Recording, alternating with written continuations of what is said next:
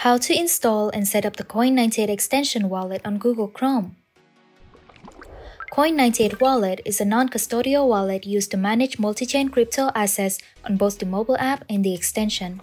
Before using Coin98 Exchange, we need to install and set up the Coin98 extension wallet. Click Connect Wallet and you'll be redirected to the Chrome Web Store. Click Add to Chrome. Read the information, then click Add Extension. If you want to pin the Coin98 extension wallet and the toolbar for easier and instant access, click the extension icon, then click the pin icon next to it. After installing, open the Coin98 extension wallet. Click Create Wallet and choose a type of password, text or matrix. The text password is a popular and easy to set up type of password with 8 characters, including at least one uppercase letter and one special character. The matrix password makes Coin98 wallet distinctive from the others.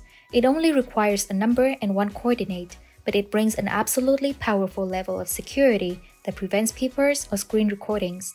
That's why we always recommend using this password. We'll choose the matrix password in this guide. Click Show Hint if necessary. Choose a number, then pick a coordinate. Confirm the password by dragging the chosen number to this coordinate. After setting up the password, create a wallet by choosing a blockchain we recommend creating a multi-chain wallet for your convenience. Name your wallet, then copy the passphrase and store it carefully. Your passphrase is crucial to keeping your assets safe, so make sure you never lose it. Tick on the confirmation boxes, then click Create Wallet. Paste the copied passphrase into the confirmation box, then click Create. The wallet will be displayed on the home screen and is ready to serve. You are now ready to manage your assets on the Coin98 extension wallet and trade on Coin98 Exchange. If you like this tutorial, give it a like, subscribe and stay tuned for more updates. See you in the next ones!